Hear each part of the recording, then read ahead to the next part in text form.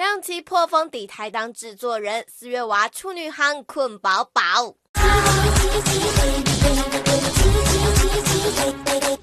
猜猜是什么风把剧剧吹来台湾啦？但是台风。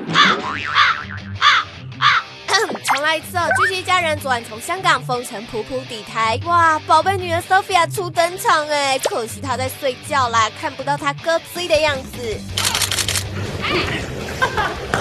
睡了一个多小时。他睡了一个多小时。在飞机上一直睡觉，所以刚醒来。醒来不开心了这样。不会啊，不会，醒来可能坐飞机想要再继续睡。不舒服。他第一次来台湾，第一次坐飞机，也是第一次坐飞机。这第一次坐飞机就献给台湾了，这样。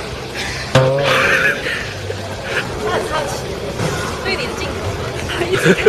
对，从小就会认镜头。